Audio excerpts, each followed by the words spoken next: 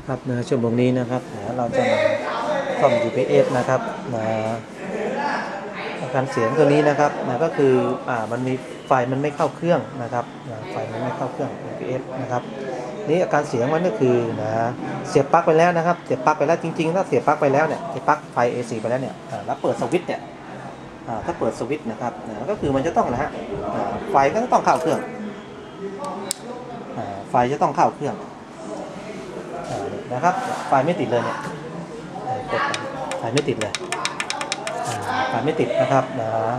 ที่เป็นเช่นนี้เพราะอะไรครับแบตเตอรี่นะครับแบตเตอรี่มันเสีย แบตเตอรี่ตัวนี้มันเสียคือละราคาของ UPS มันก็ต้องคืออะไรครับ มันต้องคือ มันก็ต้องมีไฟจากแบตเตอรี่เนี่ยไปเรียกวงจรนะครับนะไปเรียกวงจรนะเพื่อจะให้นะครับรีเลย์นะครับรีเลย์ตัวนี้นะครับนะสองตัวนี้สามตัวนะครับสามตัวเนี้ยจะเป็นตัวละตัดต่อวงจร ตัดต่อวงจรเพื่อเข้าไปในโหมดนะไฟ AC ตัวนี้นะแล้วตั้งปลั๊กตั้งมิเตอร์ไว้นะครับย่าน AC นะครับนะ AC เอาวัดที่ output เนี่ยดูทางหลังนะครับทางหลังก็จะมีบอกว่าอันนี้เป็นอัพเลยอ่านี่คือแล้วตรงๆเลยนะครับตัวนี้คือผ่าน UPS นะครับผ่าน UPS นะครับที่เราจะไปใช้งานคือตัวนี้ อันนี้คือต่อตรงนะครับอ่านี่นะครับเอามิเตอร์นะครับ ไปวัดอะ เสียบไปวัดไฟนะ output นะครับนะไม่มีไฟมาเลยนะครับ ไม่มีไฟมาเลยนะครับ เพราะว่ารีเลย์มันไม่ตัดต่อมันไม่ตัดต่อนะครับ มันไม่ตัดต่อ นี้ถ้าเปลี่ยนแบตเตอรี่ไปปุ๊บนะ มันก็จะทำงานเลยนะครับนะแล้วในนั้นไฟที่ออกจากนะครับเอาพุทตัวนี้นะครับ แล้วจะมาลองวัดดูนะครับ มันออกเท่าไหร่ กี่โวลต์กี่โวลต์นะครับนะก็มีหลายคำถามมาเลยนะครับนะก็คือว่า เอาพุทเนี่ยที่ออกจากเอาพุทเนี่ยนะครับมันต้องได้ 210โวลต์นะครับแต่ UPS บางตัวนะครับ UPS บางตัวนะครับโอเคนะครับก็ได้200โวลต์บางตัวก็ไม่ถึงนะครับร้อยกว่าโวลต์เองร้อยแปดสิบร้อยเก้าสิบเองนะครับ เพราะว่าหลักการนะครับออกจากจุดนี้นะครับนะเอาไปไอ้พวกนี้ UPS มันใช้กับหลักการพวกใช้ไอ้พวกเครื่องใช้ไฟฟ้าที่ใช้หลักการ switching power supply อ่าตอนนี้นะครับนะเราปิดสวิตช์นะครับ เราก็จะมาวัดไฟนะครับนะอ่า เราดูที่มันมีไฟออกมาไหมนะครับ เราจะเปลี่ยนแบตเตอรี่นะครับอันนี้แบตเตอรี่ใหม่มาเลยนะครับแบตเตอรี่ใหม่มาเลยนะครับเราเปลี่ยนแบตเตอรี่นะครับเปลี่ยนแบตเตอรี่นะฮะเป็นแบตเตอรี่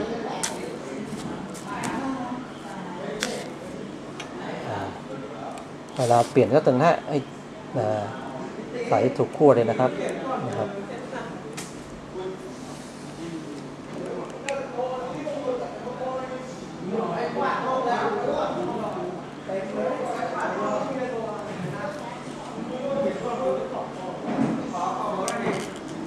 นนี้นะครับเปลี่ยนแบตเตอรี่ใหม่แล้วเราก็มาเปิดสวิตช์นะครับ คือจริงๆมันต้องมีไฟแรงดันจากแบตเตอรี่เนี่ยอีลูกนี้เนี่ยไม่มีเลยไม่มีไฟเลยนะครับมีแต่แรงดันนะกระแสไม่มีเลยนะครับวิธีการเช็คแบตเตอรี่ก็บอกไปแล้วนะครับนะอ่าแล้วเปิดสวิตช์ปุ๊บปุ๊บนะดีเลยทำงานแล้วนะครับนะแล้วมันไฟออกมาแล้วนะครับไฟมาแล้วนะครับ สองร้อยยี่สิบกว่าโวลต์นะครับสองร้อยยี่สิบเจ็ดโวลต์นะครับอันนี้อ่านี่นะครับไฟเชื่อมต่อแล้ววงจรเชื่อมต่อแล้วนะครับเปิดได้นะครับตัวนี้นะฮะอ่าตัวนี้ก็คือแล้วก็คือมันต้องเอาแล้วครับมันต้องเอาแรงดันไฟจากตัวนี้นะครับ แบตเตอรี่เนี่ยไปเลี้ยงวงจรอีกทีนึงนะครับนะ มีแรงดันไฟไปเลี้ยงวงจรีกทีนึงนะฮะมันจะสั่งให้รีเลย์ตัดมาอันนี้เราก็มาดูนะครับนะเราก็มาดูอันนี้ในกรณีนี้นะครับนะบอกแล้วนะครับนะ UPS นะครับนะบางตัวนั้นนะครับนะแรงดันไฟออกก็อ่า220โวลต์อ่าสองเราจะไม่เกิน250โวลต์นะครับนะออกร้อยบางตัวก็ออกประมาณ100ต่อโวลต์180โวลต์190โวลต์นะครับบางทีก็อ่าบางทีเราวัดเนี่ยนะครับวัดเนี่ย ผมก็ถามว่าเอ้ย UPS บางตัวเนี่ยมันต้องออก220โวลต์นะนะไม่ใช่นะครับบางตัวก็ออกบางตัวก็มันขึ้นอยู่กับการใช้งานของอยู่การใช้งานของ UPS ตัวนั้นนะครับนะก็คือการออกแบบของเขาเนี่ยออกแบบมาให้ใช้กับงานอะไรอะไรนี่นะตัวนี้นะครับแล้วนะครับทำไม 180โวลต์นะทำไม 180 ออก 180โวลต์180โวลต์เพราะว่านะครับนะ UPS จริงๆหลักการมันจริงๆก็คือเขาจะไปใช้งานเนี่ยเกี่ยวกับพวกวงจรพวกสวิตชิ่งนะหลักการสวิตชิ่งเนี่ยคือนะฮะ มันคือเวลามันทำงานเนี่ยไม่จำเป็นต้องอะไรครับแรงดันนะไม่จำเป็นต้องอะไรฮะ210โวลต์เสมอไปนะครับ180โวลต์มันก็ทำงานแล้วนะครับนะร้อยสมมติก็ทำงานแล้วนะจ่าย200โวลต์ก็ทำงานเท่ากันนะครับในกระแสเท่าเท่ากันทีนี้เราก็มาดูที่ว่านะครับมันจริงไหมอย่างที่ครูบอกนะครับนี่เดี๋ยวครูจะถอดปลั๊กนี่เลยนะครับถอดปลั๊กตรงนี้เลยนะครับถอดปลั๊กนี่ออกเลยแล้วมาดูที่นะครับแต่นี่คือยังไม่ใส่โหลดนะถอดปลั๊กปุ๊บ แรงดันออกมาเนี่ยทีนี้นะแรงดันที่ออกมาจากเอาท์พุตเนี่ยอ่าไฟลองติดติดติดแหละไฟเนี่ยนะครับร้อยกว่าโวลต์นะครับยังไม่ใส่โหลดเดี๋ยวจะใส่โหลดให้ดูนะครับอ่าทีนี้เสียบเข้าไปใหม่นะครับเสียบปลั๊กเข้าไปใหม่เสียบปลั๊กเข้าไปใหม่นะครับก็จะตัดเชื่อมมานะฮะตัดเข้ามาแล้วฮะตัดเข้ามาแล้ว210โวลต์เหมือนเดิมนะ นะฮะอันนี้นะอ่าต่อเนื่องเลยนะครับ เดี๋ยวครูจะใช้นะครับปลั๊กทีวีตัวนี้เนี่ยทีวีตัวนี้นะครับเนี่ยปลั๊กทีวีตัวนี้เนี่ย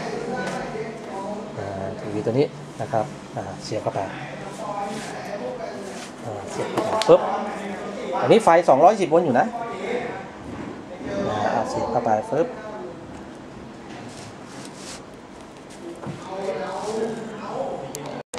อ่า เสียบปลั๊กไปแล้วนะครับนะอันนี้ก็ไฟ 220 โวลต์อยู่นี่เดี๋ยวจะเปิดทีวีนะครับ เปิดทีวี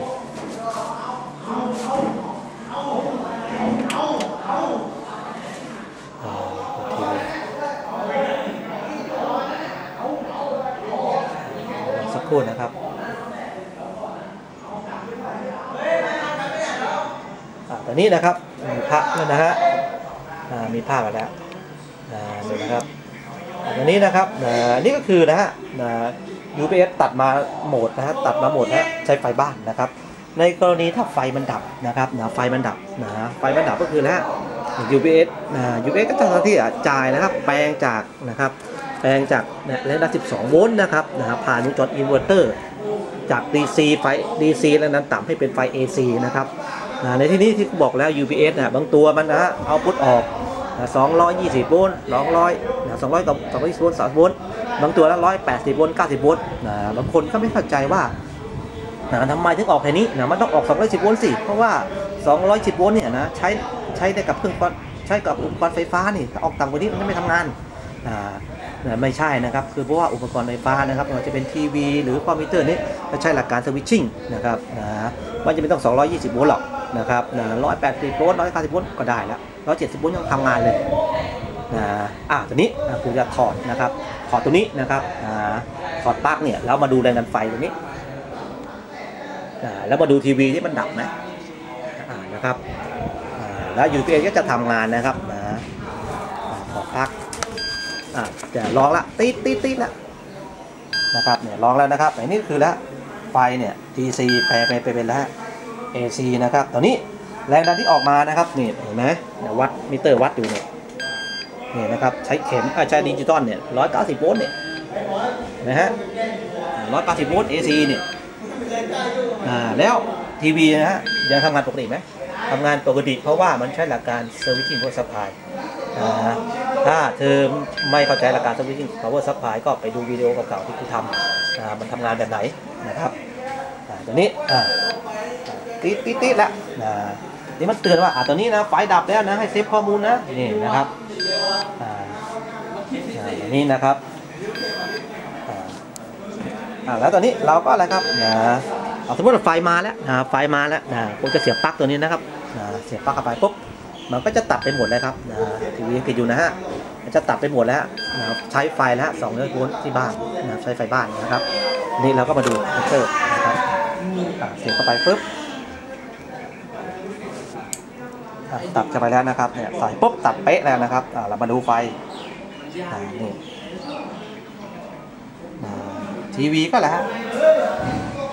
ปกติแม้แต่นะครับนะทั้งนี้ทั้งนั้นนะครับ มันต้องมันอยู่กับนะครับการออกแบบของ UPS ด้วยนะครับนะว่าแรงดันที่ออกมาเนี่ยออกมาเท่าไหร่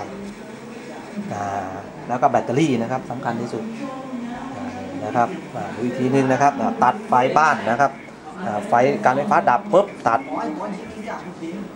ตัดปุ๊บร้องปั๊บนะนี่ไฟนี่นะครับ AC นี่นะครับ 190 โวลต์แต่ยังจ่ายโหลดได้ใช่ไหมครับ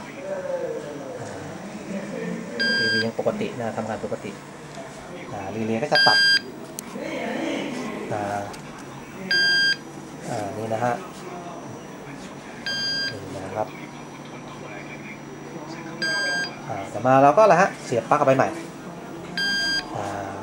เสียบปลั๊กเข้าไปใหม่นะครับ อันนี้มิเตอร์ยังคาอยู่นะครับนะครับคาอยู่อันนี้นะเสียบปลั๊กเข้าไปใหม่ปุ๊บเนี่ยนะฮะเสียบปลั๊กเข้าไปใหม่ปุ๊บนะไฟมาแล้ว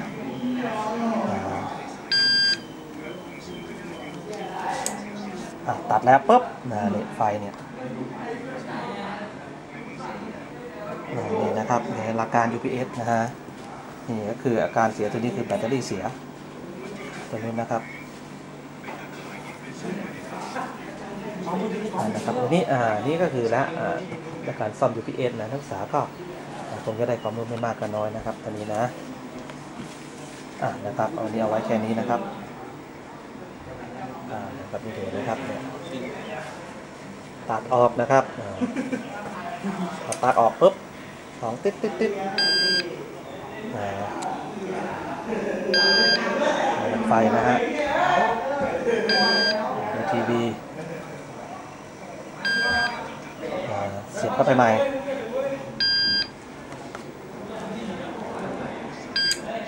ตัดเข้าไปนี่นะครับ